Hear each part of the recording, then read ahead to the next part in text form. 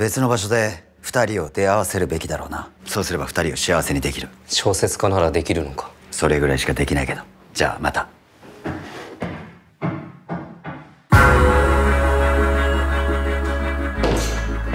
今の本好きの男は今日まで何度となくこの席で本を読んできた。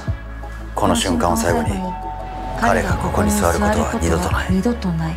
なぜならあの男はは愛する家族と共に姿を消すからだ。待って小説の話ですよね。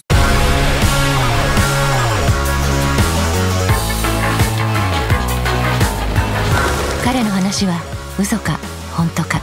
その謎に挑む主人公はあなた。書いたことが現実でまた訴えられたら困るんです。このチャンスを逃したら君は一生後悔する。鳩の撃退法。フィクションですよね。その質問は受け付けない